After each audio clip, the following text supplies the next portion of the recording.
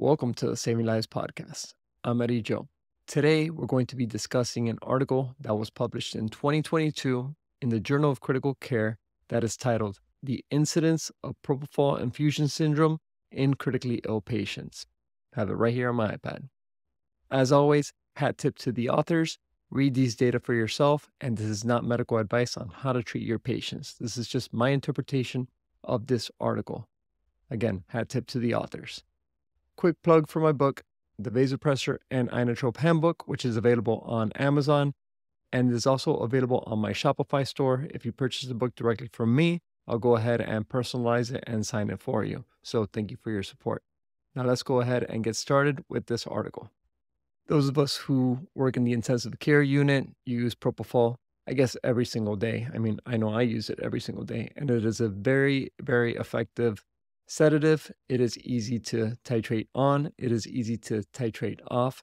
But I do like to remind folks that this is not a medication that is used for pain. So if you're using somebody for, if you have somebody who you need to sedate and they're intubated and they're just on propofol, make sure you're taking care of their pain with some other form of analgesia because propofol is not cutting it. Now, there is an adverse effect of propofol, which is this propofol infusion syndrome, PRIS. I always thought it was propofol related infusion syndrome, but I guess I'm wrong. And the reasons why it happens is either patients are on propofol for a prolonged period of time or they are on high doses of propofol, in which case many institutions have a threshold as to how high you could go for exactly this reason to avoid this clinical manifestation, which causes a lot of harm to patients. Because amongst things it causes include metabolic acidosis, cardiac dysfunction, rhabdo, hypertriglyceridemia, and acute kidney injury.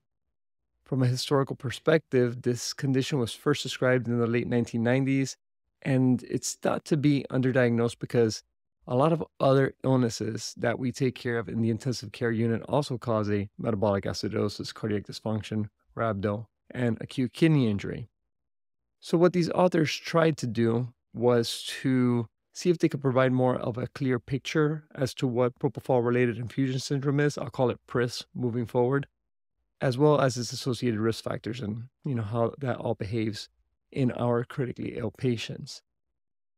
From an overview perspective, this was a retrospective multi-hospital observational cohort study, meaning that you know these patients weren't blinded or anything like that, and it took place at NYU between March of 2020 to February of 2021.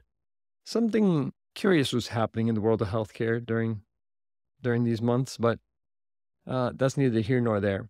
And what they did was that they included 654 adult ICU patients who received, and these are the key characteristics here, the propofol infusion for at least 48 hours or at a dose of greater than 16 micrograms per kilogram per minute for 24 hours. So, in other words, prolonged duration or high doses. And the high dose here was 60 micrograms per kilogram per minute. At my institution, we have a cap of, of 50 that you could use. Sometimes you go a little bit higher, but for the most part, it's not sustainable. So the primary outcome was the incidence of PRIS, and they defined that by using major features such as metabolic acidosis and cardiac dysfunction with at least two minor features. And these, this is where you have the hypertriglyceridemia or the rhabdo. With regards to the secondary outcomes, they included PRIS associated mortality as well as hospital length of stay. So, what did these authors find? This is what we're here. First of all, let's discuss the incidence. They found that the incidence was 2.9% of patients. It's not very high when you think about just 19 out of 654, but at the same time, we put propofol on so many patients, or better yet, better said, we put so many patients on propofol that 2.9% is something that we do run into every now and then if we were to use these doses. But even though it's uncommon, again, we, it's something we could still run into. With regards to mortality, and here they looked at PRIS associated mortality, the rate of mortality when these patients had PRIS was 94.7%. But then again, this is these are patients who are critically ill. So if you're on propofol at that high a dose or for that long, chances are something that's, something's wrong with you that's you know, possibly lethal. But they went ahead and they defined PRIS specific mortality, which was death occurring within seven days of the onset of PRIS. And this was 36.8%, which is still pretty significant. They were able to tease out a couple risk factors for developing PRIS. Here, for example, they found that the median propofol dose in PRIS patients was just 36.4 micrograms per kilogram per minute. And it was administered over a mean duration, excuse me, a median duration of 147 hours. Now, they did observe hypertriglyceridemia as well as acute kidney injury in all of the PRIS patients. So keep uh, keep your eyes open for patients' triglyceride levels because this could be indicative that something bad is going to happen. I know that we at our institution regularly check triglyceride levels every couple days to ensure that this is not brewing in the background. So something to keep that in mind. Now, the metabolic acidosis, I would have figured occurred in all the patients, but it didn't. It only occurred in 78.9% of patients. And the cardiac dysfunction occurred in 52.6% of patients. So that means we got to keep an eye on these different things, you know, the hypertriglyceridemia, acute kidney injury, metabolic acidosis, and cardiac dysfunction. From a clinical manifestation standpoint, the hallmark signs of PRIS per this study were the hypertriglyceridemia, as well as the rhabdo. So checking patients' CPK or CK, depending on what you check in your institution, could be worthwhile to help you identify if the patient is going to PRIS. Now, the hypertriglyceridemia occurred at a median of 4.6 days after starting propofol, and the triglyceride levels exceeded 482. So it's pretty high triglyceride level. We tend to stop it if the triglyceride levels are over 300 we go ahead and we switch our sedative agent. And rhabdo was noted in 26.3% of PRIS patients. Now, these patients, from an outcome standpoint, obviously you have to fix this underlying, you have to fix this issue, excuse me. And so these patients had a, a higher length of stay. However, some of them had a shorter length of stay because they unfortunately passed. So, all in all, what do we do with these data and with our utilization of propofol? Well, first of all, we need to think about the doses of propofol as well as the duration of propofol that we use in our patients.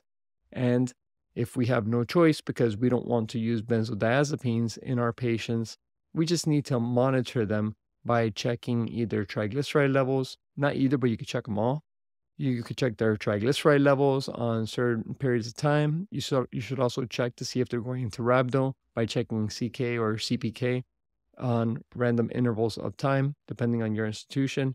But most most of all, you should just try to avoid using such high doses for such a prolonged period of time of propofol. From a lab perspective, also, you know, one of the things I keep a close eye on on my patients' BMP on their basic metabolic panel or their CMP comprehensive metabolic panel is that I look at their serum bicarb, which is the CO2 that you see there. If that number is let's say let's say it's below 20, my mind is starting to spin a little bit as to wondering why this patient has a metabolic acidosis and how could we go about fixing it. So again, what's important about the study to wrap this up is that it sheds light on all these factors about propofol infusion syndrome. The incidence again is 2.9%, which doesn't sound like a lot, but when you make it relevant to how many hundreds of patients, even thousands of patients we take care of every year in our intensive care unit, it, that means it does show its face every now and then, unfortunately. So I'd like to know what you think and how have you seen propofol infusion syndrome? How have you guys taken care of it? What do you do at your institution to make sure that this pathologies does not come to say hello. And um, yeah, just give me your generalized thoughts. All in all, thank you for tuning into my podcast, the Saving Lives podcast. I wish you all a very happy holidays, a Merry Christmas, Happy Hanukkah. Um, definitely a happy new year. It's a new new year. New year, new me. What's it that the kids say? Anyway, um, I wish you all the best. Thank you for your support. Thank you for making 2024 a success. I'm looking forward to seeing you guys in 2025 out in conferences and such. Definitely check out my book, the Vasopressor and Inotrope Handbook, and pick up a copy if you haven't already.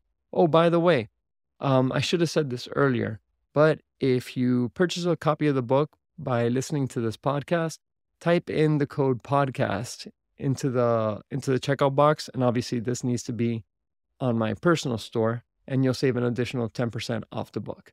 Thank you so much, guys. Have a great day. Bye.